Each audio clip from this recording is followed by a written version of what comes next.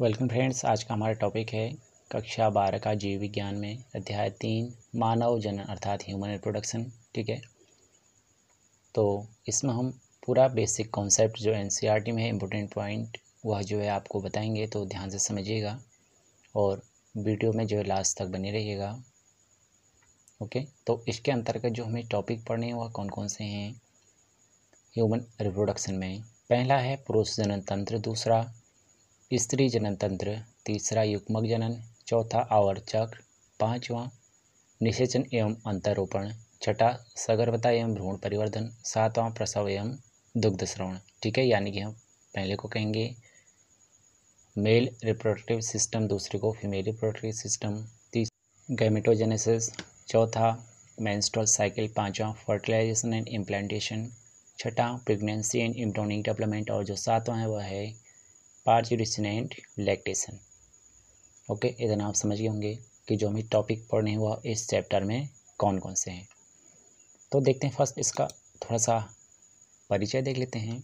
Okay जो मानव जनन है, क्या होता है कि जो मानव होता है, अर्थात ह्यूमन उसमें लैंगिक रूप से जनन होता है। अर्थात उसमें नर और मादा दो अलग अलग जनक की आवश्यकता होती है और सजीव प्रजक या जरायुजी प्राणी होता है मानव, ठीक है? सजीव प्रजक अर्थात बच्चे देने वाला और जरायुजी उसमें प्लेसेंटा उपस्थित होता है, ठीक है? और मानव में जो जनन संबंधी घटनाएँ हैं, उसके अंतर्गत युग्मक जनन अर्थात जो पुरुष में शुक्राणु और स्त्री में अंडाणु बनने संबंधी घटनाएँ होती हैं, ठीक है? और स्त्री जनन पथ में शुक्राणु का स्थानांतरण जिसे वीर, सेचन या इंशामिनेशन कहते हैं। पुरुष तथा स्त्री के युग्मों का सेलने जिसे फर्टिलाइजेशन कहा जाता है, ठीक है? जिसके कारण जो युग्मनज होते हैं, अर्थात जायगोट इसका इनका निर्माण होता है। और बाद में जो कोर पुटी होते हैं, अर्थात ब्लास्टोसिस्ट, उसकी रचना होती है और उसमें जो परिवर्धन होता है, अर्थात इसकी गर्भाशय की जो दीवार होती है, उस पर चिपक जाना, जिसे अंतरोपण कहते हैं। ठीक है? और भ्रूणी परिवर्धन तथा शिशु के जन्म संबंधी जो प्रसव की क्रियाएँ होती हैं, आदि सब जो है इसमें आती हैं। ठीक है? तो जो जनन की घटनाएँ होती हैं, वह यौनारंभ के पश्चात जो है संपन्न होती हैं। पुरुष और स्त्री के बीच महत्वपूर्ण रूप से जो जनन की घटनाएँ होती हैं, अर्थात जो पुरुष होता है, उसमें शुक्राणु बनने की प्रक्रिया जारी रहती है। लाइफ लॉन्ग प्रोसेस है, ठीक है? जबकि जो स्त्री होती है, उसमें अंडाणु की रचना पचास वर्ष की आयु तक ही होती, ठीक है? उसके बाद उसमें नहीं होते, अंडाणु नहीं बनते। तो फ़र्स्ट देखते हैं पुरुष जनन तंत्र। जो पुरुष जनन तंत्र होता है, वह शरीर के जो श्रोणी क्षेत्र होता है पैल्विक रीजन उसमें अव्यवस्थित होता है।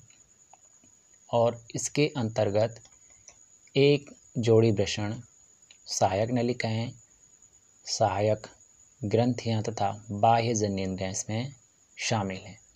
कौन कौन से?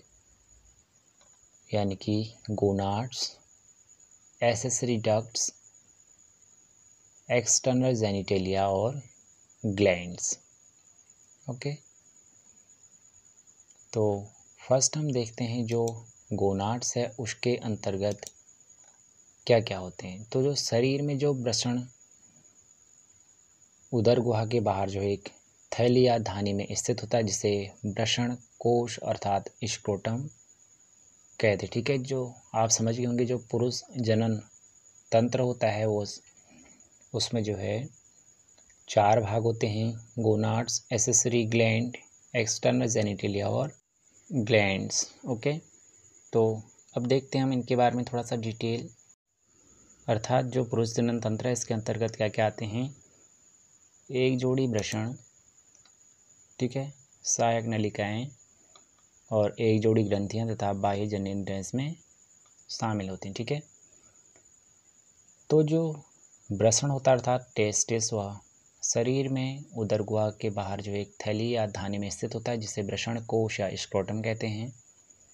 ठीक है, जो ब्रषण कोश होता है उसमें उसमें जो है ब्रषणों के तापमान को, अर्थात जो शरीर का नॉर्मल तापमान होता है, उससे जो है दो से लेके दो दशमलव पाँच डिग्री सेंटीग्रेड कम तापमान होता है। ठीक है, और यह तापमान जो स्पर्मेटोजेनेसिस की प्रक्रिया होती है अर्थात शुक्राणु जनन उसके लिए आवश्यक है। इसलिए जो स्क्रोटम होता है वृषण कोष, वह जो है उधर गुहा के बाहर एक थैली में स्थित होता है और वहाँ पर जो है टेम्परेचर बॉडी टेम्परेचर से थोड़ा सा कम होता है। और कितना कम होता है? दो से लेके दो दशमलव पाँच डिग्री सेंटीग्रेड, ओके? और जो वयस्क होते हैं उसमें, जो प्रत्येक वृषण होता है वो अंडाकार होता है और जिसकी लंबाई चार से लेकर पाँच सेंटीमीटर और चौड़ाई दो से लेके तीन सेंटीमीटर होती है। और जो ब्रषण होता है, वह सघन आवरण से ढका होता है। प्रत्येक ब्रषण में लगभग 250 कक्ष होते हैं, जिन्हें ब्रषण पालिका अर्थात टेस्टिकुलर लोब्यूल्स कहा जाता है ओके आप यहाँ डायग्राम में देख सकते हैं, जो पुरुष जनन तंत्र है, वह जो है श्रोणी क्षेत्र का यहाँ पर आरोप आरेखित कार्ड दिखाई गई है। मूत्रवाहिनी शुक्राशय और मूत्राशय शुक्रवाहक, प्रोस्टेट ग्लैंड, सीसन, ठीक है? और मूत्र मार्ग ये सब यहाँ पे भाग दिए गए हैं ब्रषण ब्रषण कोष। ओके, यह जो है पुरुष जनन तंत्र को दर्शाने वाला यहाँ पे आरेखित काट है। तो आप जो इसे ध्यान से देखिएगा, ओके? अब इतना अगर आपने देख लिया हो तो आगे बढ़ते हैं। तो जो प्रत्येक ब्रषण पालिका होती है, उसके प्रत्येक ब्रषण पालिका के अंदर एक से लेकर तीन अति कुंडलीय संरचना होती है, जिसे सेमनीफेरस ट्यूब्यूल्स अर्थात शुक्रजनक नलिकाएँ कहते हैं और जिनमें शुक्राणु पैदा होते हैं, ठीक है? प्रत्येक शुक्रजनक नलिका का भीतरी भाग दो प्रकार की कोशिकाओं से विस्तारित होता है या फिर स्तरित होता है। कौन कौन सी? पहली हैं नर जर्म कोशिकाएँ, जिन्हें स्पर्मेटोगोनिया कहते हैं, और दूसरी सर्टोली कोशिकाएँ, ठीक है? जो नर जर्म कोशिकाएँ होती हैं इनमें, अर्धसूत्री विभाजन के द्वारा मियोसिस के द्वारा जो है, शुक्राणु का निर्माण होता है, जबकि जो दूसरी सर्टोली कोशिकाएँ होती हैं, वह जर्म कोशिकाओं को पोषण प्रदान करते हैं। यह इम्पोर्टेंट है, जो है, आप इसे ध्यान में रखिएगा, ओके? जो सेटोली सेल्स होते हैं, इनका क्या फ़ंक्शन होता है, जो कार्य होता है, वह जम कोशिकाओं को पोषण प्रदान करती हैं, ओके? जो शुक्रजनक नलिकाएँ होते हैं, उसके बाहरी क्षेत्र को जो है इंटर स्पेस कहा जाता है। अंतराली अवकाश, जिसमें छोटी छोटी रुद्र वाहिकाएँ होती हैं और इंटरस्ट्रियल सेल या लीडिंग सेल इसमें होती हैं, ठीक है? तो जो इंटरेस्टियल स्पेस होता है, इसमें जो है रुधिर वाहिका के अलावा जो लीडिंग सेल्स होती हैं, जो लीडिंग सेल्स होते हैं, वह एंड्रोजन नामक, अर्थात जिसे पुंजन कहते हैं एंड्रोजन नामक ब्रषण हार्मोन का श्रावण करती हैं, संश्लेषित और श्रावण करती हैं, ठीक है? कुछ अन्य कोशिकाएँ भी होती हैं यहाँ पर जो प्रतिरक्षात्मक कार्य करने के रूप में सक्षम होती हैं। ठीक है? तो यह तो जो है इसके प्राइमरी ऑर्गन थे, प्राथमिक अंग, जो मेल रिप्रोडक्टिव सिस्टम में होते हैं। और इसके साथ ही कुछ और भी जो अंग होते हैं, उन्हें कहते हैं सहायक अंग, ठीक है? समझ रहे ना? जो मेल रिप्रोडक्टिव ऑर्गन है, उसमें एक तो प्राइमरी ऑर्गन होते हैं, अर्थात जो गैमेट का निर्माण करते हैं, ठीक है? दूसरे होते हैं सेकेंडरी ऑर्गन अर्थात द्वितीय अंग जो उसके सहायता करते हैं। ओके वो कौन कौन से होते हैं आगे देखिएगा। तो जो पुरुष लिंग सहायक नलिकाओं के अंतर्गत जो है कौन कौन से आते हैं? ब्रषण जालिकाएँ, जिसे रेटेटेसिस कहते हैं। शुक्रवाहिकाएँ, जिसे वास इफ्रेंशिया कहते हैं। अधिभ्रषण जिसे एप्रीडाइमेंस तथा शुक्रवाहक, जिसे वाश डिफरेंस कहते हैं। ओके? इतना आप ध्यान से, ध्यान में रखिएगा कि कौन कौन से जो है इसमें मेल, जो एसेसरी ग्लैंड होते हैं या फिर मेल सेक्स एसेसरी डक्ट इन्हें कहते हैं, ठीक है? और इसके अंतर्गत क्या क्या आते हैं? रेटेटेस्टिस वासा डिफरेंस या एपीडाइमिस और वास डिफरेंस तो जो आप यहाँ डायग्राम में देख लीजिएगा। शुक्रजनक नलिकाओं का यहाँ पर आरेखित कार्ड दिखाया गया है। तो अब आगे देखते हैं यहाँ पर जो शुक्रजनक नलिकाओं का आप देख सकते हैं, इसके जो काट है कौन कौन से भाग होते हैं। इंटरेस्टियल सेल अंतराली कोशिकाएँ, शुक्रजनक, अर्थात जो स्पेनोटोगोनिया होते हैं, शुक्राणु, सर्टोली सेल, ये सब यहाँ पे दिखाया गया है ठीक है। जो ब्रषण होता है, अर्थात टेस्टिस उसकी जो शुक्रजनक नलिकाएँ होती हैं वह ब्रषण नलिकाओं के माध्यम से जो है शुक्र वाहिकाओं में खुलती हैं और यह शुक्र वाहिका जो है ब्रषण में आगे चलकर अधिवृक में खुलती है, ठीक है? और जो प्रत्येक ब्रषण के पश्च सतह पर स्थित होती है तो जो अधिवृषण होता है, वह शुक्रवाहक की ओर जो है बढ़ते हुए उदर गुहा के ऊपर जाती है और मूत्राशय के ऊपर जो है एक लूप बनाती है, जिससे और इसमें से जो है शुक्राशय से एक वाहिनी आती है और जो मूत्र मार्ग में स्थित जो स्खलनीय वाहिनी होती है, उसके रूप में खुलती है। तो जो ये नलिकाएँ होती हैं ब्रसण से प्राप्त शुक्राणु का भंडारण तथा मूत्र मार्ग से जो है इनका बाहर स्थानांतरण करती हैं। ठीक है? कौन? जो ये नलिकाएँ होते हैं ब्रसण प्रसरण में, ठीक है? टेस्टिस में तो जो मूत्र मार्ग होता है, उसमें मूत्राशय से निकलकर पुरुष के शीशन से अर्थात जिसे पेनिस कहते हैं, उसके माध्यम से गुजरता हुआ जो है बाहर की ओर एक छिद्र के रूप में खुलता है, जिसे यूरेथ्रल मिएटस कहते हैं। यूरेथ्रल मिएटस अर्थात मूत्राशय मुख ओके तो इतना आप समझ गए होंगे तो जो शिशन होता है, वह पुरुष की बाह्य जनेन्द्रियाँ हैं। यह विशेष प्रकार के उतक से बना होता है, ठीक है? यह विशेष प्रकार के उतक से बना होता है। तो जो शीशन की बाहरी जनेन्द्रियाँ होती है या विशेष प्रकार का उत्तर से बना होता है। जो शीशन के इरेक्शन में अर्थात उठान में सहायता प्रदान करता है और उसके पश्चात जो है वीर सेचन से इंशेमिनेशन कहते हैं, उसे सुगम बनाता है। ठीक है, जो शीशन का अंतिम वर्धित भाग होता है, उसे शीशन मुंड अर्थात ग्लांस, पेनिस कहते हैं और उसके ऊपर एक ढीची, ढीली त्वचा होती है, अर्थात ढीली त्वचा से वह ढका होता है, जिसे फॉर स्किन अर्थात अग्र, अग्रक्षत कहते हैं। ठीक है, जो पुरुष लिंग की सहायक ग्रंथियाँ होती हैं, उसके अंतर्गत एक जोड़ी शुक्राशय एक प्रोस्टेट ग्लैंड, एक जोड़ी बल्बो इलेथ्रल ग्लैंड शामिल हैं, ठीक है? इन सभी ग्रंथियों का जो स्राव होता है, वह शुक्रिय अर्थात जिसे सेमिनल प्लाज्मा का वह निर्माण करती हैं, जिसमें फ्रुक्टोज, फल शर्करा, कैल्शियम तथा कुछ एंजाइम से वह भरपूर होता है, ठीक है? ये काफ़ी इंपॉर्टेंट है ध्यान से, जो पुरुष लिंग की सहायक ग्रंथियाँ होती हैं, जिसके अंतर्गत एक जोड़ी शुक्राशय, एक प्रोस्टेट ग्लैंड और एक जोड़ी बल्बो इलेक्ट्रिक ग्लैंड आती हैं। इन सब का जो स्राव होता है, उसे सेमिनल प्लाज्मा कहते हैं और वह जो है फ्रुक्टोज सरकरा कैल्शियम और इंजैन से भरपूर होता है। जो बल्बो बल्बोलेथ्रिक ग्लैंड होती है या मैथुन के दौरान जो है सीसन को लुमरिगेशन प्रदान करती है। ठीक है, स्नेहन। यहाँ पर आप मेल रिप्रोडक्टिव सिस्टम जो है कंप्लीट हो गया। अगला देखते हैं फीमेल रिप्रोडक्टिव सिस्टम अर्थात स्त्री जनन तंत्र।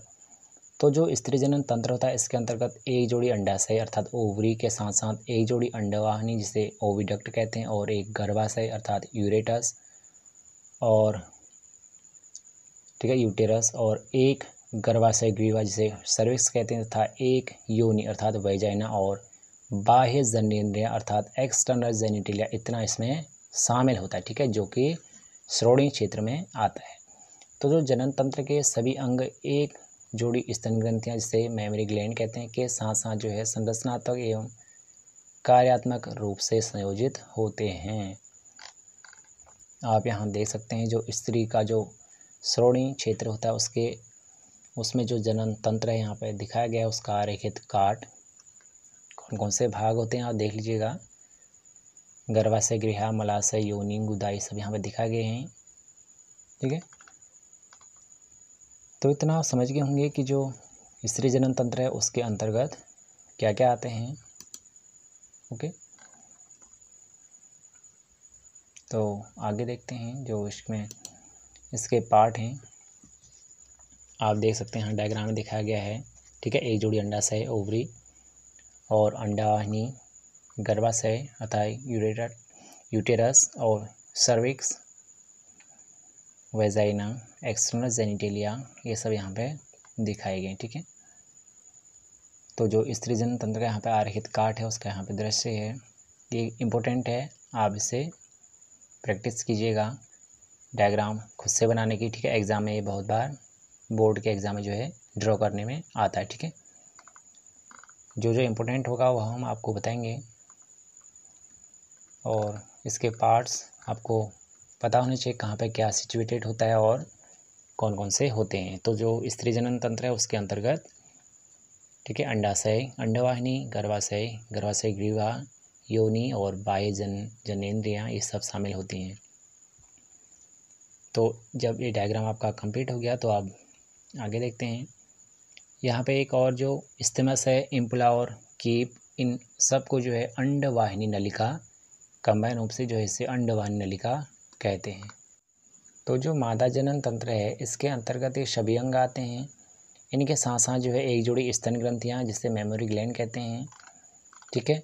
और इनमें जो है और भी प्रक्रिया होती हैं, जैसे ओवुलेशन अर्थात अंडोत्सर्ग, निषेचन, शकरबता, फर्टिलाइजेशन, प्रेगनेंसी शिशु जन्म तथा शिशु की देखभाल की जो प्रक्रिया होती है, वह सब इसमें शामिल होती है।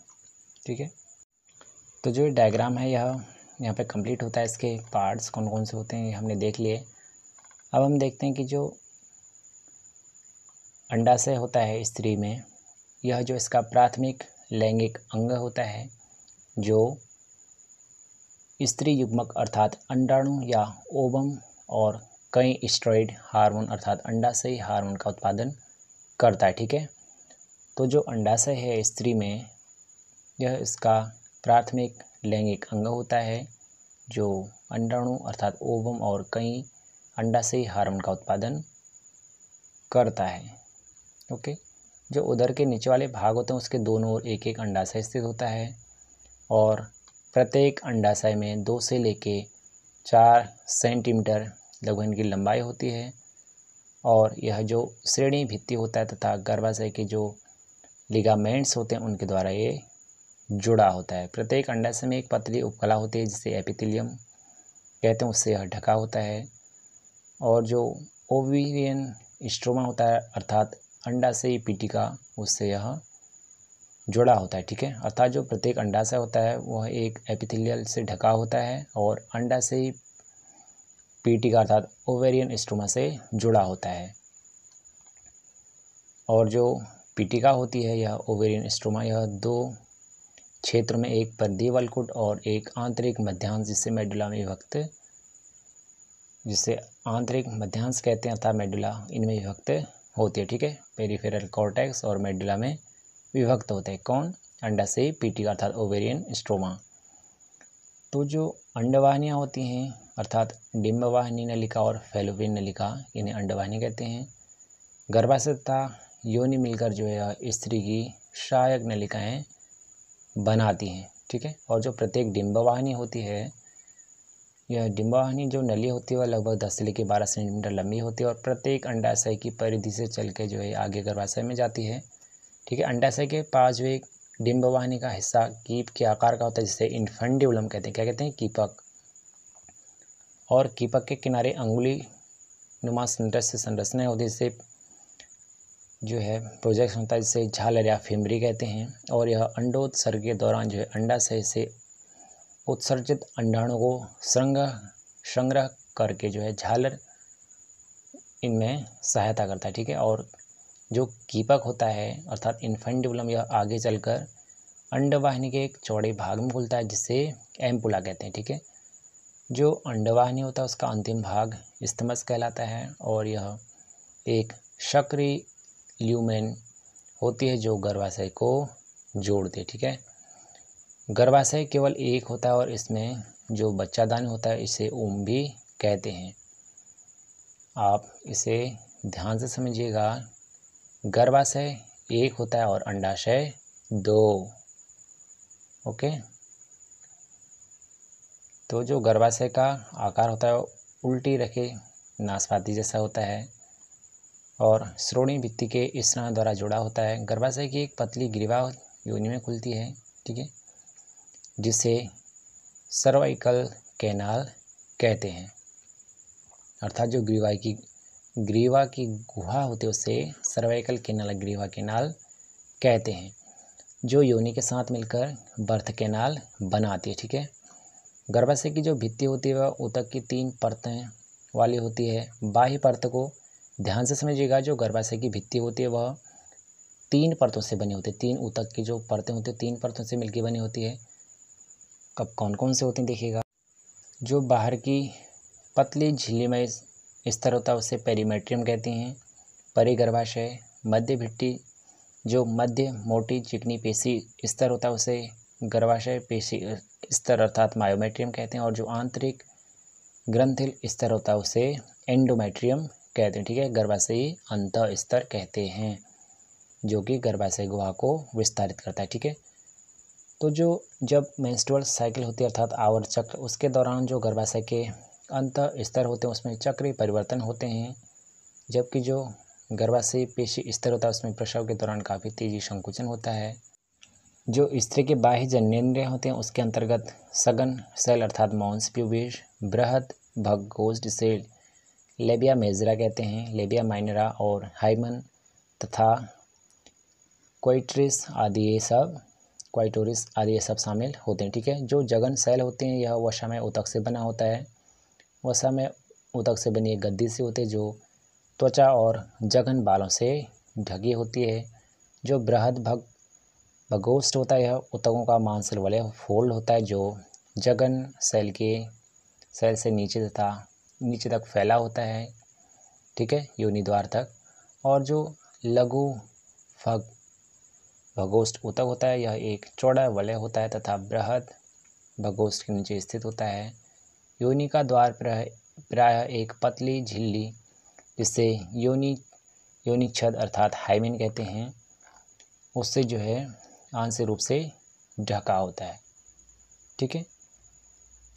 तो जो सेव होता है, यह एक छोटी सी अंगुली सी रचना होती है, जो मूत्र द्वार के ठीक ऊपर दो बृहद भगोष्ठ के ऊपर जो है मिलन बिंदु के पास स्थित होती है। जो योनि क्षेत्र होता है, पहले मैथुन अर्थात जो संभोग के दौरान जो है फट जाती है। हालाँकि यह कोई रिलायबल इंडिकेटर नहीं है। ठीक है? वर्जिनिटी का अर्थात जब यह आवरण कभी कभी तेज़ धक्के या अचानक गिरने से भी फट सकता है, इसके लिए जो योनि का जो टेम्पोन को या फिर कोई भी जो घोड़े पर चढ़ने या साइकिलिंग करने के दौरान आदि खेल कूद से भी जो है यह इनमें सक्रिय भागीदारी के दौरान भी यह हाईमेंट फट सकता है। ठीक है?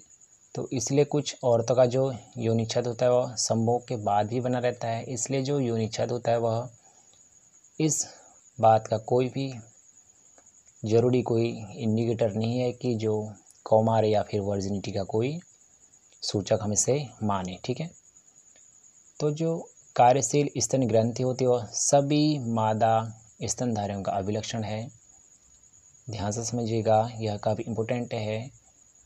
सभी स्तनधारी जो होते हैं, उनका अभिलक्षण है स्तन ग्रंथि का पाया जाना, ठीक है? जो स्तन ग्रंथि होती है, यह युग्म संरचना है जिसमें ग्रंथिल उतक विभिन्न मात्रा में वशा जो है उपस्थित होती है जो प्रत्येक स्तन होता है उसका ग्रंथिल उतक पंद्रह से लेकर बीस मेमोरी लोब्स में विभक्त होता है स्तन पालिया में। और इसमें जो है कोशिकाओं के गुच्छे होते हैं जिन्हें कूपिका कहते हैं और कूपिकाओं में जो है, कोशिकाओं से दुग्ध स्रावित होता है और कूपिकाओं की जो गुहाएँ होती हैं, उनमें एकत्र होता है। कोपिकाएँ जो है, स्तन नलिकाओं में खुलती हैं और प्रत्येक पाली की जो नलिकाएँ होती हैं, वह मिलकर जो है मेमोरी डक्ट अर्थात मेमोरी डक्ट या फिर स्तन वाहिनी का निर्माण करती हैं, ठीक है? और कई स्तन वाहिनियाँ मिलकर एक बृहद स्तन तुम्बिका बनाते हैं, जिन्हें लेक्टिफेरस डक्ट अर्थात दुग्ध वाहिनी कहते हैं, ठीक है? और इनमें, इनसे जो है दूध स्तन से बाहर निकलता है। ओके। आप यहाँ डायग्राम देख सकते हैं जो स्तन ग्रंथि का यहाँ पे आरेखित काट दिखाई गई है।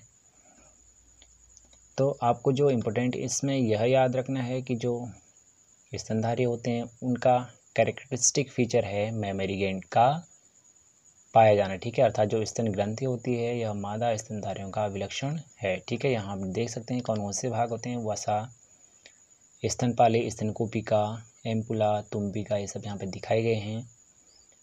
पसली और ये सब इसके पार्ट हैं, ठीक है? स्तन ग्रंथि के।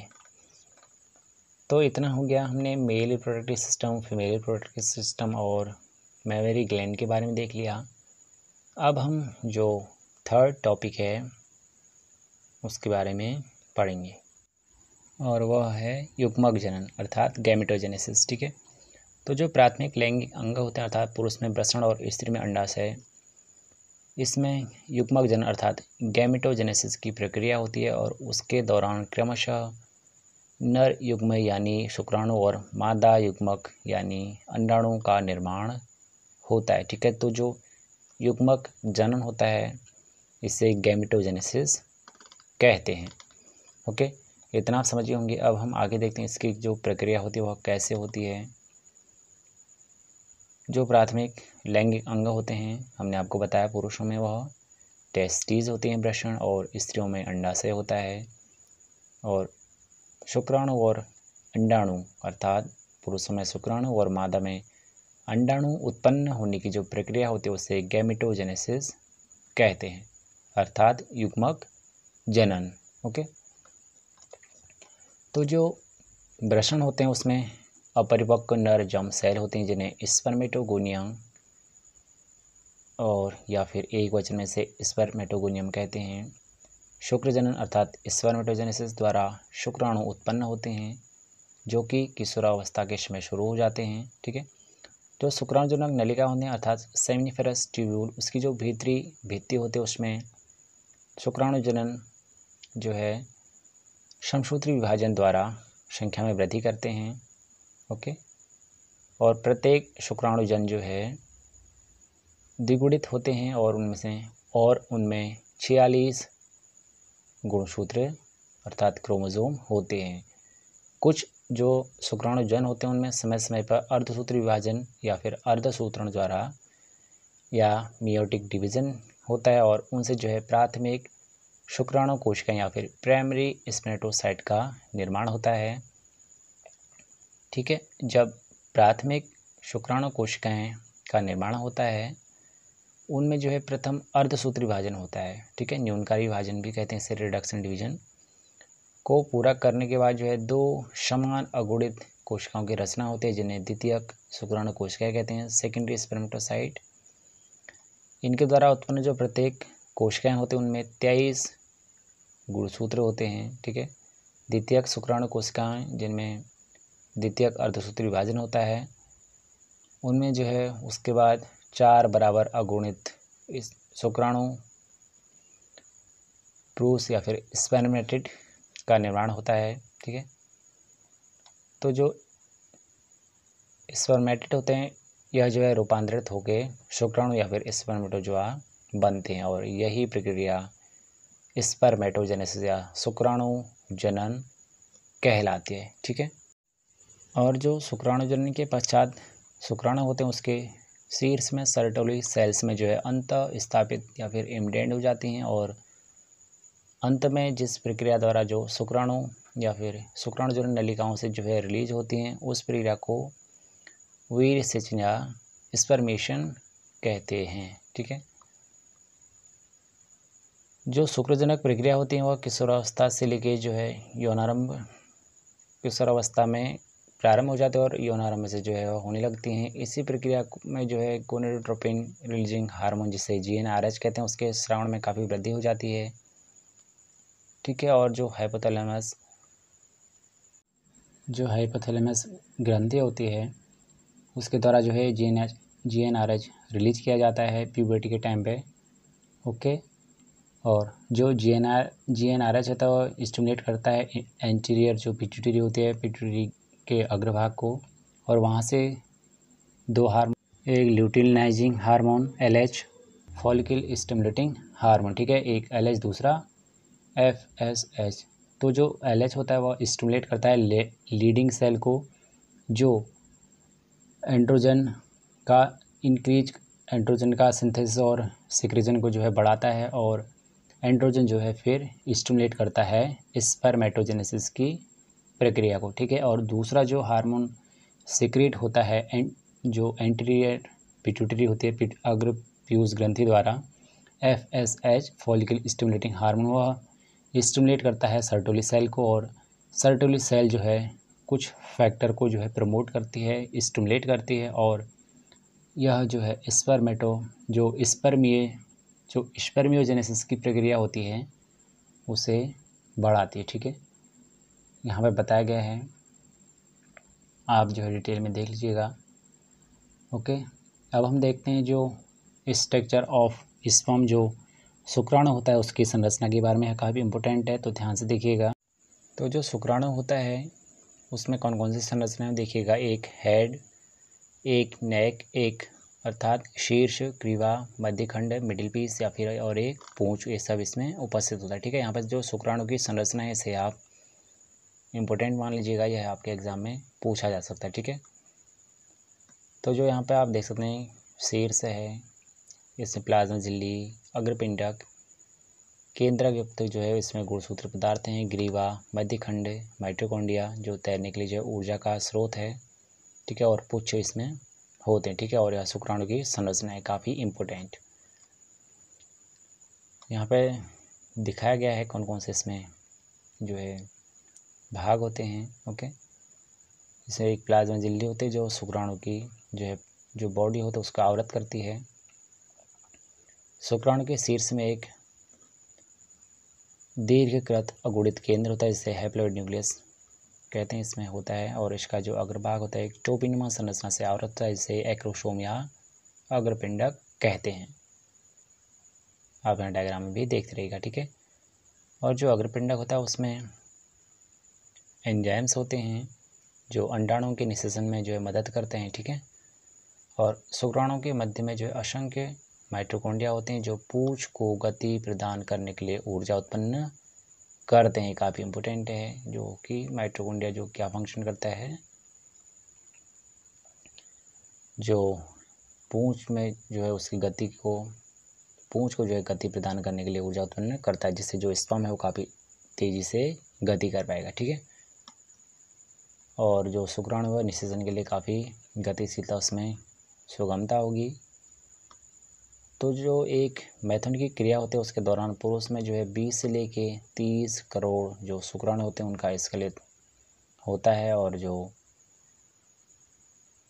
अबंधता होती है, अर्थात उवर्ता उसमें लगभग साठ प्रतिशत शुक्राणु निश्चित रूप से जो है, सामान्य आकार और आकृति वाले होने चाहिए, ठीक है? इससे कम इनमें से जो है कम से कम चालीस प्रतिशत आवश्यक रूप से सामान्य जनन क्षमता के लिए जो है तीव्र गतिशीलता प्रदर्शित करते हैं।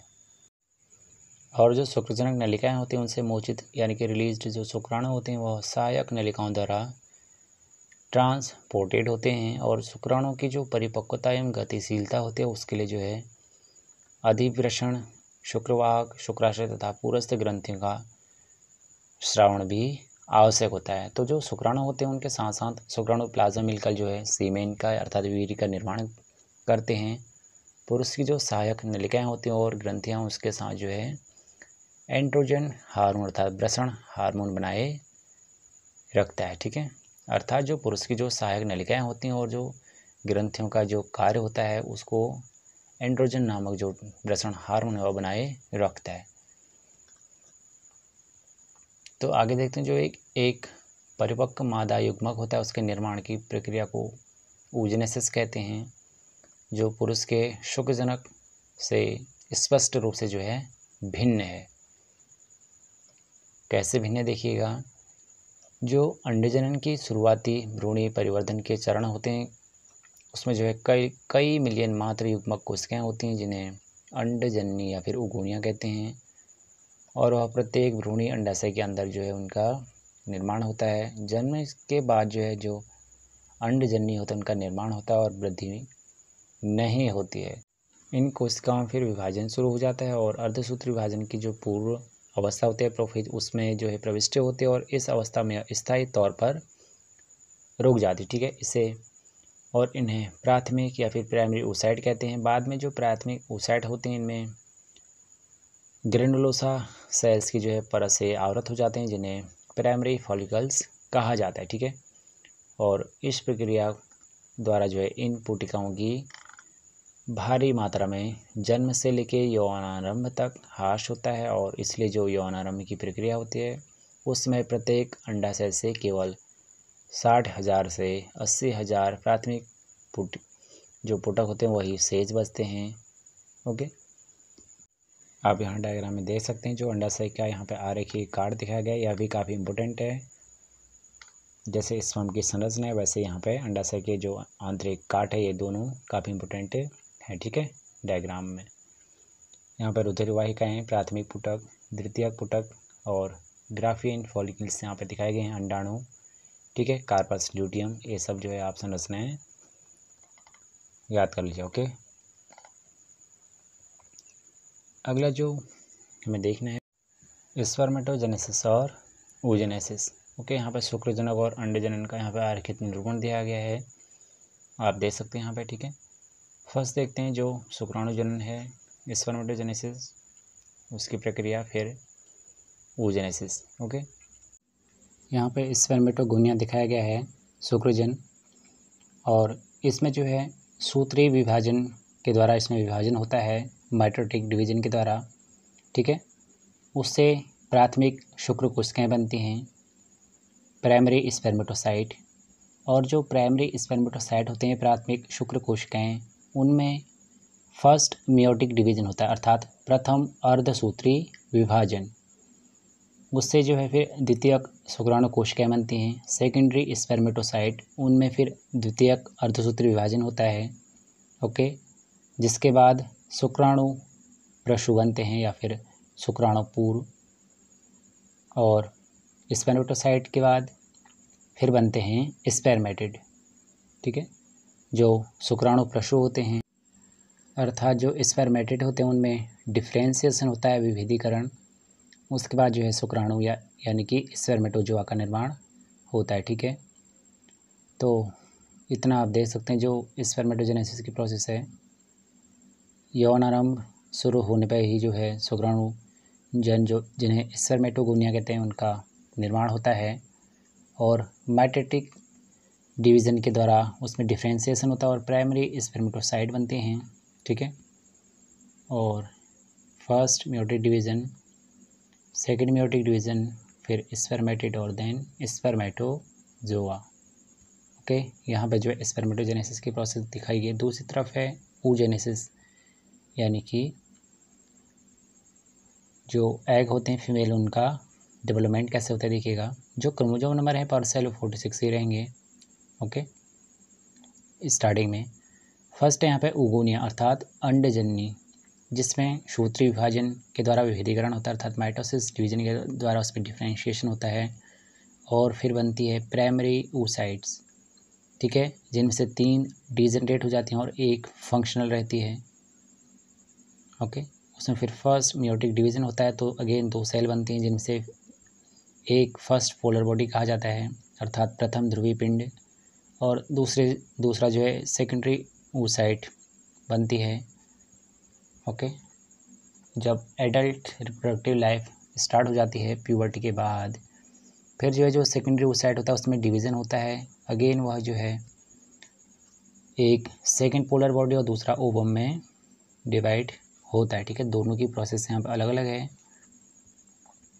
आप इसे ध्यान से देख लीजिए, ओके? तो जो गैमेटोजेनेसिस होता है, वह मेल में होता है और अर्थात जो गैमेटोजेनेसिस की प्रोसेस जो मेल में होता है, उसे स्पर्मेटोजेनेसिस कहते हैं।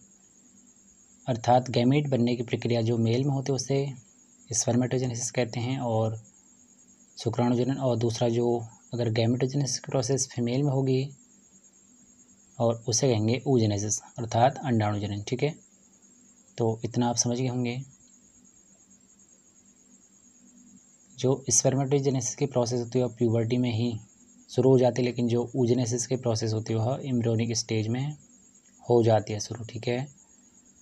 जो स्पर्मेटोजेनेसिस की प्रोसेस होती है वह मेल में ओल्ड एज तक भी हो, होती है जबकि जो ऊजनेसिस की प्रोसेस है यह या, या फीमेल में जो है पचास साल तक ही हो जाता है। फिर जब रुक जाती है तो इस प्रक्रिया को बोलते हैं मेनापोज ओके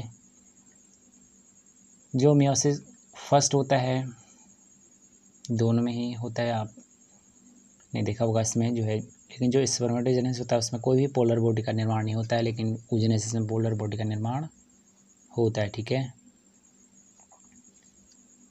तो जो म्योसिस फ़र्स्ट का जो रिज़ल्ट होता है, उसमें चार फंक्शनल स्पम बनते हैं। यहाँ पर आप देख सकते हैं।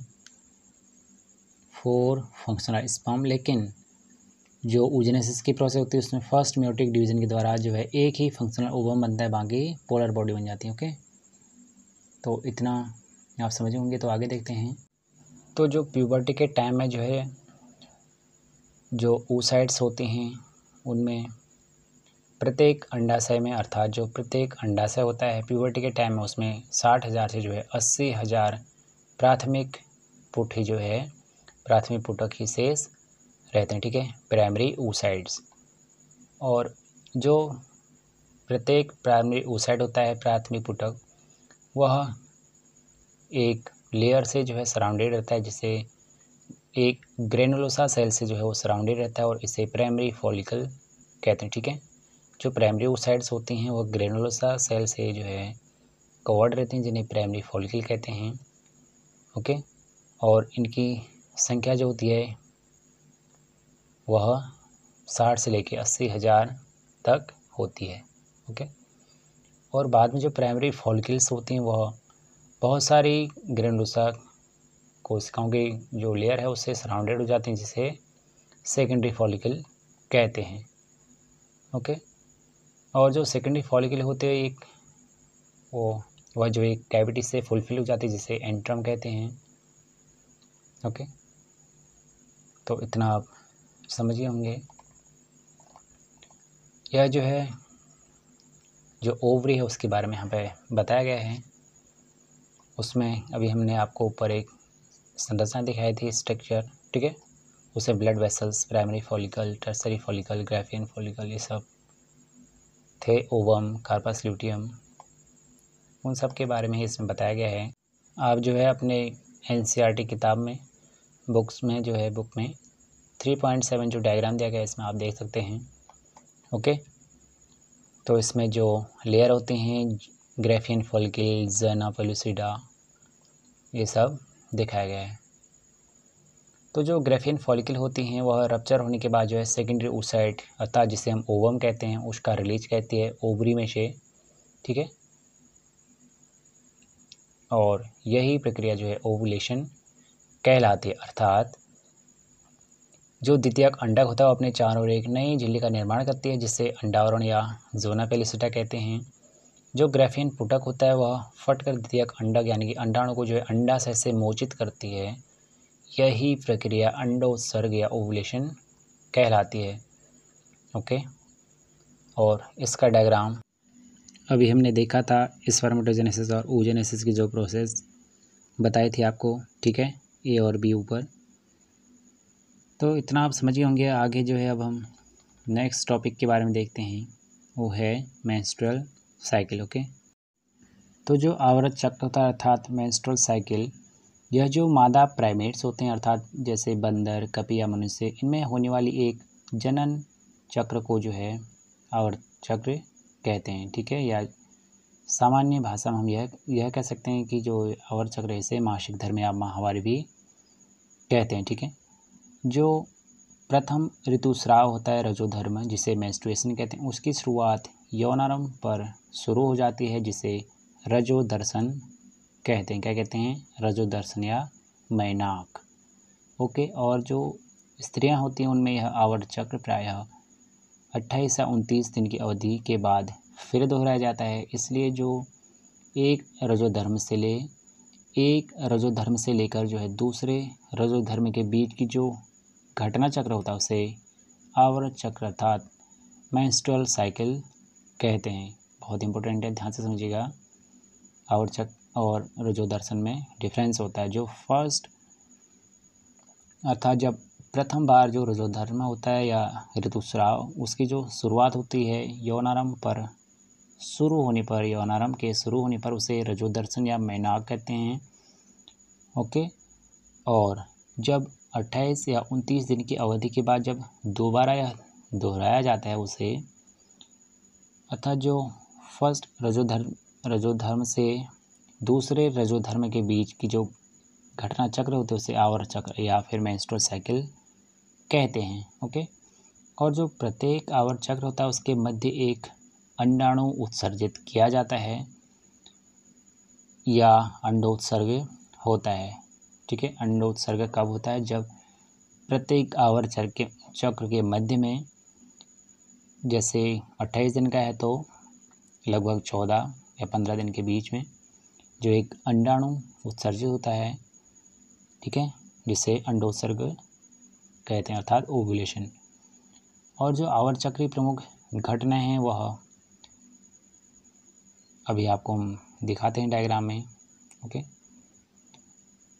जो आवर चक्र है, उसकी शुरुआत आवर चक्र प्रावस्था से होती है और उसमें रक्तस्राव होने लगता है।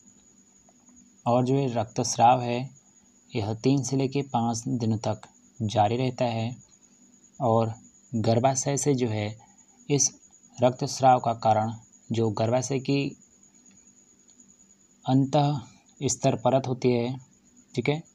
इंजोमेट्रियम अंत सतह जो परत होती है, उसकी रक्त वाहिनियों के नष्ट होने के कारण जो है, जो ब्लीडिंग होती है, जो रक्तस्राव होता है, वह होता है, ठीक है? और एक तरल रूप धारण करता है, जो योनि से बाहर निकलता है, ओके? और रुजोधर्म तभी भी आता है जब मोचित अंडाणु निषेचित नहीं हुआ हो, ठीक है? जो रजोधर्म की अनुपस्थिति अगर है तो यह जो है गर्भधारण का संकेत होता है, ओके? अर्थात जब मेंस्ट्रुअल साइकिल नहीं होती है तो यह माना जाता है कि अर्थात जो गर्भधारण है, वह हो चुका है। लेकिन कभी कभी कुछ और भी कारण होते हैं, जिनकी वजह से जो मेंस्ट्रुअल साइकिल है, रजोधर्म, वह नहीं होता। जैसे तनाव, निर्बल स्वास्थ्य आदि भी यह हो सकते हैं। तो जो आवर चक्र प्रावस्था होते उसके बाद पुट की प्रावस्था आती है और इस प्रावस्था के दौरान जो गर्भाशय की भीतरी प्राथमिक पुटक होते हैं, उसमें वृद्धि होती है और यह एक पूर्ण ग्राफी पुटी बन जाती है, ठीक है? ग्राफीन फॉलिकल्स बन जाती है और इसके साथ साथ जो है, जो गर्भाशय में प्रचुरोध भवन अर्थात प्रोलिफिकेशन के द्वारा जो गर्भाशय होता है, वह अंत स्तर पुनः पैदा हो जाता है, ठीक है? जो अंडाशय और गर्भाशय में जो परिवर्तन होते हैं, वह पीयूष ग्रंथि तथा अंडाशय हार्मोन की मात्रा के स्तर में बदलाव के कारण प्रेरित होता है, ठीक है? आप समझ रहे होंगे, जो अंडाशय और गर्भाशय में जो परिवर्तन होते हैं, वह पीयूष ग्रंथि और जो अंडाशय हार्मोन होते हैं, उनकी मात्रा में जो स्तर होता है, उसमें बदलाव के कारण जो है, होते हैं, ठीक है? जो फुटक प्रावस्था होती है, उसके दौरान जो गोनेडोट्रोपिन हार्मोन होता है एल एच और एफ़ एस एच इनका श्रावण जो है धीरे धीरे बढ़ता है और यह जो है, जो यह स्राव जो है पुटक परिवर्धन के साथ साथ साथ वर्तमान पुटक द्वारा एस्ट्रोजन के श्रावण को भी उद्दीपन करता है। ठीक है?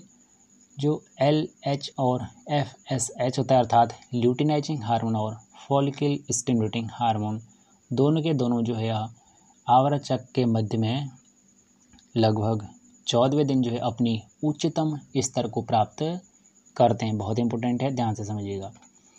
जो अभी दिखाएँगे डायग्राम में एल एच और एफ़ एस एच जो है सबसे पीक लेवल में कब होंगे? जब आवर्चक का मध्यम पीरियड होता है, ठीक है? और मध्य पीरियड के दौरान जो है जो एल एच होता है, इसका श्रावण तीव्र होता है और अधिकतम स्तर पर होता है, ठीक है? जिससे एल एच सर्ज भी कहते हैं। और यह जो ग्राफी पुटिका होता है, उसके फटने के लिए जो है इसे प्रेरित करता है, जिसके कारण जो अंडाणु होता है, वह मोचित हो जाता है, अर्थात अंडोत्सर्ग या ओवुलेशन होता है। तो जो अंडोत्सर्ग के पश्चात जो पीत प्रावस्था होती है, जिसके दौरान जो ग्राफियन फॉलिकल होती है, ग्राफी पुटिका का जो सेज बचा हुआ भाग होता है, जिसे कॉर्पस ल्यूटियम कहते हैं, अर्थात पीत पिंड, उसका रूप धारण कर लेता है, ठीक है? और जो पीत पिंड होता है, अर्थात कॉर्पस ल्यूटियम यह भारी मात्रा में प्रोजेस्ट्रॉन का श्रावण करता है। जो कि गर्भाशय की जो अंत स्तर होता है, उसे बनाए रखने के लिए आवश्यक है, ठीक है? जो प्रत्येक गर्भाशय की अंत स्तर होती है, निषेचित अंडाणु के जो अंतरोपण अर्थात इम्प्लेंटेशन तथा सगर्भता की अन्य घटनाओं के लिए जो है, आवश्यक है, ठीक है? तो जो सगर्भा जो सगर्भता होती है, उसके दौरान जो है, जो आवर चक्र होते उसकी सभी घटनाएँ बंद हो जाती हैं, इसलिए इस समय पर रोजोधर्म नहीं आता है, ठीक है? जब निषेचन अर्थात जो प्रेगनेंसी होती है, ठीक है? सगर्भता, उस दौरान जो है आवर चक्र की सभी घटनाएँ बंद हो जाती हैं और इस इस समय जो है रजोधर्म नहीं आता है। जब निषेचन नहीं होता है तो जो पीत, पिंड होता है, उसमें ह्रास होता है और अंत स्तर का विखंडन होता है, जिससे फिर से जो है रजोधर्म का नया चक्र शुरू हो जाता है, यानी कि माहवारी पुनः होती है। स्त्री में यह जो आवर चक्र होता है, वह पचास वर्ष की आयु के लगभग बंद हो जाता है और इस स्थिति को रजो निवृत्ति अर्थात मैनापॉज कहते हैं। ध्यान से समझिएगा, टर्म में कंफ्यूज मत होना।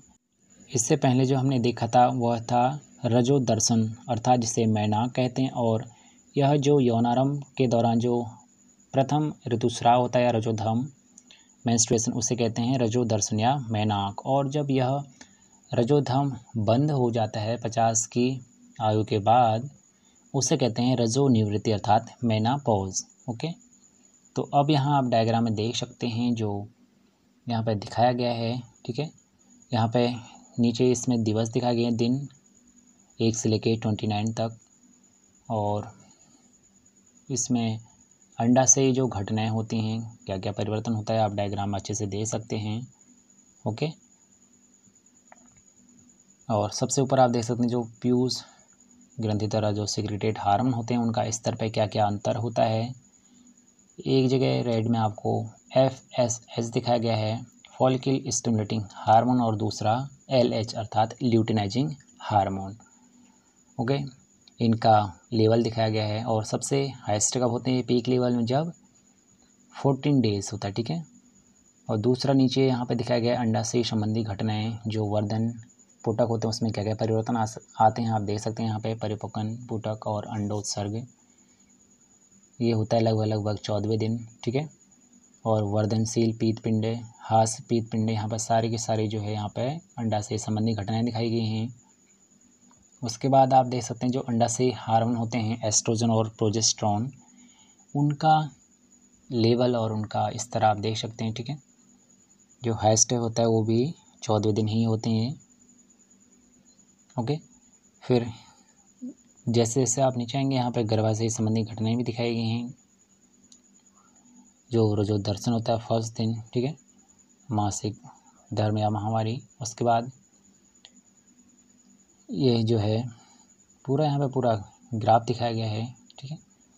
ऋतु, श्राव, रजोधम जो है, पाँच दिन तक रहेगा। उसके बाद पुटी की प्रावस्था आती है, ठीक है? प्रचुरोध भवन ओवुलेशन की प्रोसेस और फिर श्रावी प्रावस्था सेक्रेटरी फ़ेज़ और अगले चक्र का प्रारंभ। ये सब यहाँ पे दिखाया गया है। तो जो डायग्राम दिखाया गया है यहाँ पे, इसे आप अच्छे से देखिएगा, ठीक है? कभी कभी इस पर भी क्वेश्चन आ जाते हैं कि कौन से डेज़ पे जो हार्मोन हैं, इनका अंडा से हार्मोन का स्तर हो गया या फिर जो प्यूज हार्मोन हैं एस एल एच और एफ़ एस एच इनका लेवल कब पीक पे होता है, ओके? यहाँ पे एक छोटा सा कॉलम में दिखाया गया, आप इसके बारे में जो है देख लीजिएगा, ओके? जो मैंस्ट्रल साइकिल होती है, अर्थात आवर चक्र, उसके दौरान कौन कौन सी स्वच्छता संबंधी जो है सावधानी अपनानी चाहिए उनको क्या क्या करना चाहिए करके ये सब देख सकते हैं आप। ओके? अगला टॉपिक देखते हैं फर्टिलाइजेशन एंड इम्प्लांटेशन अर्थात निषेचन एवं अंतरोपण, ठीक है? स्त्री एवं पुरुष में जो है संभोग के दौरान जो जब संभोग होता है अर्थात मैथुन, उसके बाद जो जो सेशन होता है पेनिस उसके द्वारा जो शुक्र होता है अर्थात वीर, वह जो स्त्री की योनि में छोड़ा जाता है। और इस प्रक्रिया को बोलते हैं वीर सेचन अर्थात इंसेमेशन ओके तो जो गतिशील शुक्राणु होते हैं वह तेज़ी से तैरते हुए जो है गर्भाशय की जो ग्रीवा होती है उससे होकर गर्भाशय में प्रवेश करते हैं और अंततः जो जो अंडवाहिनी होती है फेलोपियन ट्यूब उसके तुम्बिका अर्थात एम्पुला क्षेत्र में पहुँचते हैं। इससे भी जो अंडाशय होता है उसके द्वारा मोचित जो अंडाणु होता है वह एम्पुला क्षेत्र तक पहुँचता है जहाँ पर निषेचन प्रक्रिया संपन्न होती है, ठीक है? निषेचन की प्रोसेस कहाँ पर होती है? एम्पुला में, ओके? तुम्बिका में। और जो निषेचन तभी हो सकता है यदि जो अंडाणु और शुक्राणु जो है दोनों एक ही समय पर तुम्बिका क्षेत्र पर पहुँच जाए, ठीक है? एम्पोला रीजन पर। यही कारण है कि जिससे जिससे जो है सभी संभोग क्रियाएँ निषेचन व सगर्भता की स्थिति तक नहीं पहुँच पाते हैं। क्योंकि जो एग और स्पर्म होता है, दोनों को एक ही जगह पे सेम टाइम पे पहुँचना होता है, तभी जब वो मिल पाएँगे तो आपस में जो है, जो फर्टिलाइजेशन है, यह प्रक्रिया संभव है, ठीक है? और उसके बाद ही जो है इम्प्लेंटेशन अर्थात सगर्भता होगी, ओके? आगे देखते हैं जो जो शुक्राणु होता है, वह अंडाणु के साथ संलयन करता है यह प्रक्रिया निषेचन कहलाती है, अर्थात फर्टिलाइजेशन और निषेचन के दौरान एक शुक्राणु जो है, अंडाणु के पारदर्शी अंडावरण, जिसे जिन जोना पेलिसिडा कहते हैं, उसके स्तर के संपर्क में आता है और अतिरिक्त शुक्राणु के प्रवेश को रोकने हेतु उसके उच्च स्तर में बदलाव प्रेरित करता है। इस प्रकार यह सुनिश्चित हो जाता है कि एक अंडाणु को केवल एक ही शुक्राणु निषेचित कर सकता है, ओके? जो अग्रपिंडक का श्रवण होता है, वह शुक्राणु की पारदर्शिता, जो अंडावरण होता है, उसके माध्यम में से जो है अंडाणु के कोशिका द्रव्य अर्थात साइटोप्लाज्म था प्लाज्मा झिल्ली में प्रवेश करने में मदद करता है। और जो द्वितीयक अंडक के जो है अर्धसूत्र विभाजन को प्रेरित करता है। दूसरा अर्धसूत्र विभाजन भी असमान होता है और इसके फलस्वरूप जो सेकेंडरी पोलर बॉडी होते है, उसकी रचना होती है, ठीक है? द्वितीय ध्रुवी पिंड और एक अगुणित अंडाणु अर्थात डिम्बाणु या प्रसु, जिसे ऊसाइड भी कहते हैं, यह बनता है और शीघ्र ही शुक्राणु का अंडाणु के जो है अगुणित केंद्र के साथ संलयन या फ्यूजन होता है, जिससे द्विगुणित जैगोट की रचना होती है। ओके? तो जो एक युग्मनस होता है, उसमें कितने गुणसूत्र होंगे, यह आप जो है कमेंट करके बताइएगा। कि जो जैगोट था उसमें कितने गुणसूत्र होंगे ओके आप यहाँ डायग्राम में देख सकते हैं, जो एक शुक्राणु द्वारा जो है घिरा हुआ अंडाणु दिखाया गया यहाँ पे। जूना पेलिस्टा सबसे बाहर की लेयर होती है अंडाणु की। पीत पिंडक अवकाश भी दिखाया गया यहाँ पर और कोरोना रेडिटा की कोशिकाएँ, ठीक है? और स्पम ये सब आप यहाँ पर संरचनाएँ देख सकते हैं ओके तो इतना आपने देख लिया तो आगे प्रोसेस देखते हैं। जो यह बात जो है आप ध्यान रखिएगा कि जो शिशु में जो लिंग का निर्धारण होता है, अर्थात जो लड़का होगा या फिर लड़की, यह निश्चित जो है मेल के द्वारा ही किया जाता है, ठीक है? नर के द्वारा ही यह निर्धारण किया जाता है कि जो उसकी संतान होगी, वह क्या होगी, लड़का या लड़की ओके जैसे जो स्त्री होता है उसमें गुरु, जो स्त्री होती है उसमें गुणसूत्र का जो स्वरूप होता है वो एक्स एक्स होता है और पुरुष में होता है एक्स वाई इसलिए स्त्री द्वारा उत्पादित सभी अगुणित जो युग्मक होते हैं, अंडाणु, उसमें एक्स लिंग गुणसूत्र ही होते हैं। जबकि जो पुरुष होता है, उसमें शुक्राणु में जो लिंग गुणसूत्र या तो एक्स होगा या फिर वाई ओके इसलिए पचास प्रतिशत शुक्राणु में जो है एक्स लिंग गुणसूत्र होते हैं और दूसरे पचास प्रतिशत शुक्राणु में जो है वाई लिंग गुणसूत्र होते हैं। इसलिए जो पुरुष एवं स्त्री के युग्मों के बीच संलयन होता है, या तो वह एक्स एक्स होगा या फिर एक्स वाई अगर वह एक्स एक्स होगा तो वो तब लड़की होगी और जब एक्स वाई गुणसूत्र का वाला जो युग्मनस होगा, ठीक है, जाइगोट, उसमें जो है मेल अर्थात नर, शिशु या लड़के के रूप में जो इसका विकास होगा। ठीक है? तो जो समसूत्री विभाजन होता है, अर्थात विदलन और क्लीवेज की जो स्टार्टिंग होती है, शुरुआत, वह तब हो जाती है जब जो युग्मनज होता है, जाइगोट, वह अंडवाहिनी के जो स्तमत स्तमत, अर्थात जिसे संकीर्ण पथ कहते हैं, स्तमस, उस रीजन से जो है गर्भाशय की ओर बढ़ता है। उस टाइम से जो है क्लीवेज और जो विदलन या क्लीवेज हम कहते हैं, उसकी शुरुआत हो जाती है, ठीक है? और यह होती है समसूत्री विभाजन के द्वारा ओके आप यहाँ डायग्राम में देख सकते हैं। दो दो, चार, आठ, सोलह जो संतति अर्थात जो डॉटर सेल्स होते हैं, जिन्हें कोर खंड या फिर ब्लास्टोमियर्स कहते हैं, इनकी रचना होती है, ठीक है? आठ आठ से लेके सोलह तक जो ब्लास्टोमियर होते हैं वह संरचना जो है, उस संरचना वाले एम्ब्रायो को तूतक या फिर मोरुला कहते हैं। ओके? जायगोट से जो है ब्लास्टोमेयर का निर्माण होता है। युग्मनज से ब्लास्टोमियर का फिर, और जो ब्लास्टोमियर होता है वह दो, चार, आठ, सोलह, ये सब उसमें संतति कोशिकाएँ होती हैं जिसे ब्लास्टोमियर कहते हैं और आठ से लेकर सोलह तक जो ब्लास्टोमियर होगा उसे तूतक या मोरूला कहते हैं, ठीक है? और जो यह तूतक होता है, यह लगातार विभाजन इसमें होते रहता है और जैसे जैसे गर्भाशय की ओर बढ़ता है तो यह कोर पुटी अर्थात ब्लास्टोसिस्ट के रूप में परिवर्तित हो जाता है, ठीक है? और एक कोर पुटी या फिर एक ब्लास्टोसिस्ट में जो है, कोर खंड यानी कि बाहरी परत में व्यवस्थित होता है, जिसे ट्रोफोब्लास्ट कहते हैं। ओके? जो कोशिकाओं के भीतरी समूह होते हैं, जो पोष कोरक से जुड़े होते हैं, जिन्हें इनर सेलमांस कहते हैं, अर्थात अंतरा के समूह कहते हैं, ठीक है?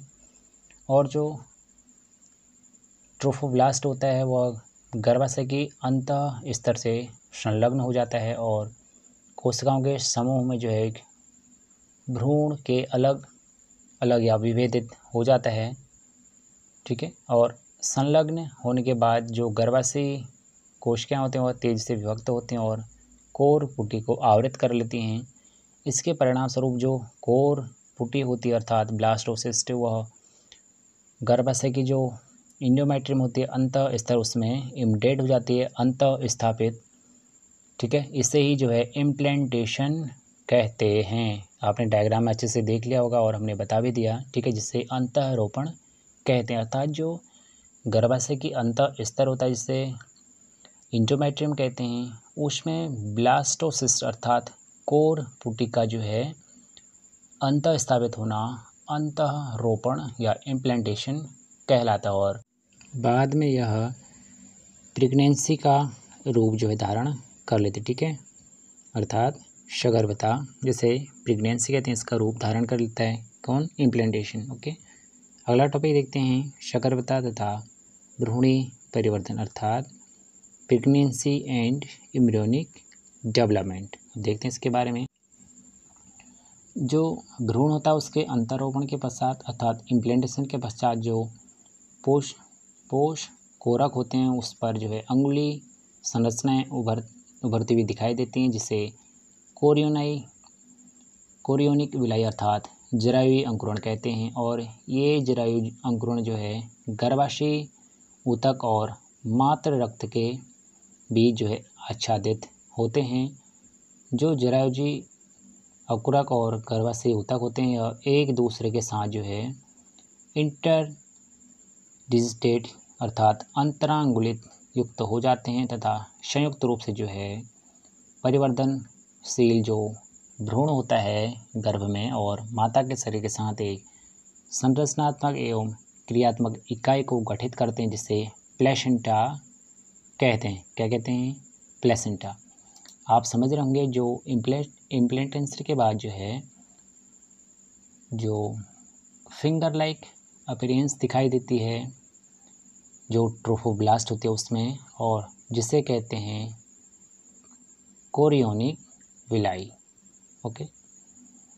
तो आप यह काफ़ी इम्पोर्टेंट है, आप इसे अच्छे से देख लीजिएगा।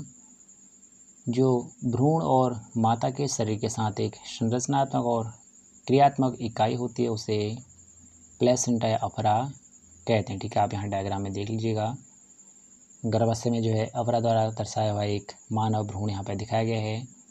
अब बहुत ही इम्पोर्टेंट यहाँ पर अभी हम आपको बताएँगे। तो जो अपरा होता है वह भ्रूण को ऑक्सीजन तथा पोषण की आपूर्ति एवं कार्बन डाइऑक्साइड तथा भ्रूण द्वारा जो विभिन्न प्रकार के उत्सर्जी या एक्सक्रीटी फैकल मैटर होते हैं, उत्सर्जी अवशिष्ट पदार्थ उनको बाहर निकालने का कार्य करता है और जो अपरा होता है यह एक नाभि रज्जु अर्थात एम्लिनिक कॉर्ड या फिर एम्बिलिकल कॉर्ड द्वारा भ्रूण से जुड़ा होता है, ठीक है?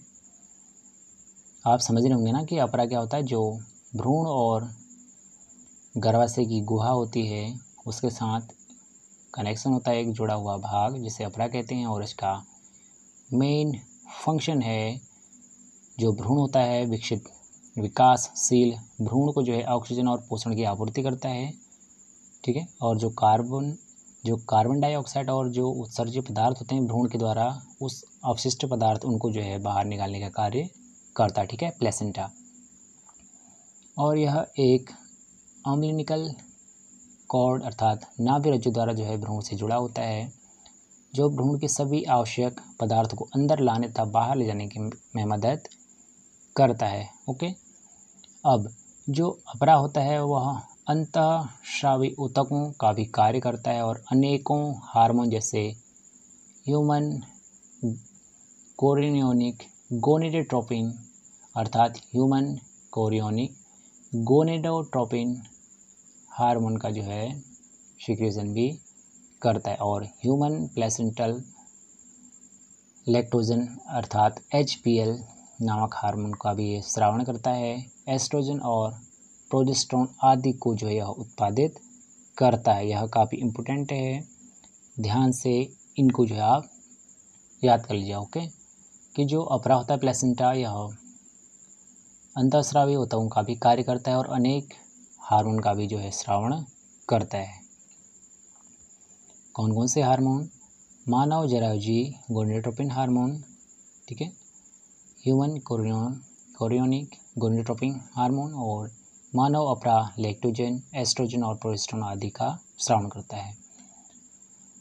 जो प्रेगनेंसी के जो है उत्तरार्ध की अवधि में जो है अंडाशय द्वारा रिलैक्सिन नामक एक हार्मोन भी स्रावित होता है और जो एच सी जी और एच पी एल होता है, ठीक है? एच सी जी अर्थात मानव जराजी gonadotropic human chorionic gonadotropin H C G और जो एच पी एल है, यह है ह्यूमन प्लेसेंटल लैक्टोजन, ओके? और रिलैक्सिन स्त्री में केवल प्रेगनेंसी की स्थिति में ही उत्पादित होता है। इसके अलावा जो दूसरे हार्मोन होते हैं, जैसे oestrogen progesterone cortisol prolactin thyroxine आदि की मात्रा भी जो है प्रेगनेंसी के दौरान माता के रक्त में कई गुना बढ़ जाता है। और इन हार्मोन के उत्पादन में बढ़ोतरी होना भ्रूण वृद्धि, माता की जो मेटाबॉलिक क्रियाएँ होती हैं, उपापचयी क्रियाएँ, उनमें परिवर्तन तथा जो प्रेगनेंसी को बनाए रखने के लिए इन सब का जो है आवश्यक होता है, ठीक है?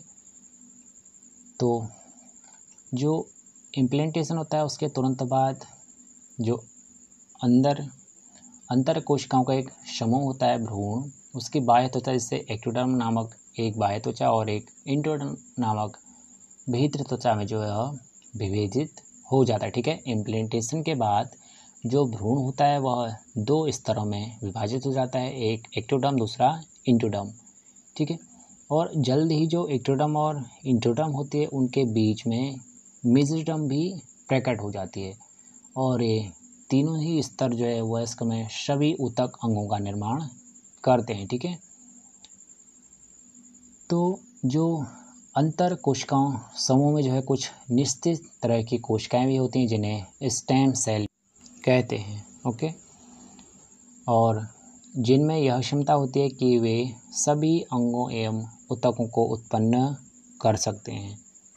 बहुत इम्पोर्टेंट है, ध्यान से समझिएगा, ओके?